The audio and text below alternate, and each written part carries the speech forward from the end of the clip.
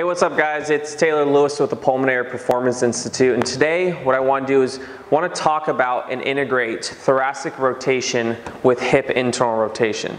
So when your body is moving, when I decide to step forward, I'm going to drive into some hip internal rotation, but you'll also see I'm going to get some thoracic rotation going on.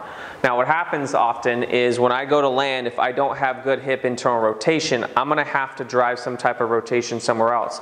That tends to be the lower back or you'll get some cranking at the neck. So what I wanna do is, with Kevin here, is we're gonna first work on some hip shifting to get some loading and really feel what loading into the hips is. Then we're gonna add the thoracic component. So we're gonna integrate lower and upper together to kind of improve. And Kevin's a golfer and he likes to improve thoracic rotation for drive. So this is a perfect exercise for people trying to improve rotation, so rotational athletes, but sometimes just if you feel stiff walking and moving, because this is key. Like I said, once I step, I need to internally rotate, I need to rotate, and then I need to be able to get out of that. So this is something that we can do. So Kevin's gonna just take this dodgeball. You can use a pillow, you just need to put something between your knees. He's going to start with his feet parallel to each other. Everyone's stance is going to be different. But what I've told him to do before is you want to feel the insides of the feet. Oftentimes we're going to get a lot of the lateral aspect of the foot here. So you want to love and live on the insides of the feet to create a good strong foundation.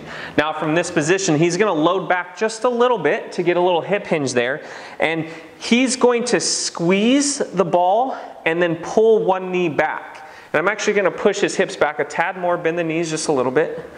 There you go. So whichever side he's working on, he's going to squeeze, pull, and then shift, and then you'll see his hips are gonna move side to side here.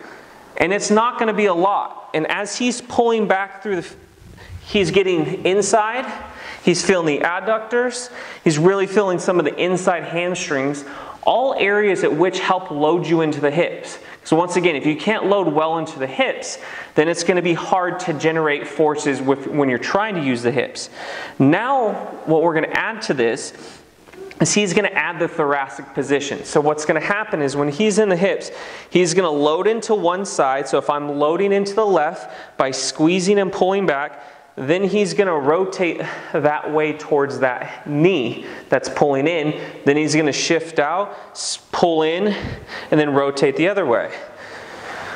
So he's going to squeeze, and since he's going to the left, he's going to rotate, he's going to watch, adding thoracic rotation, come back, then he's going to shift, rotate, and then he's going to repeat this so now what he's doing is he's hip shifting and then adding that thoracic rotation that accompany each other when you walk, when you rotate. Any rotational athlete will have some component of this.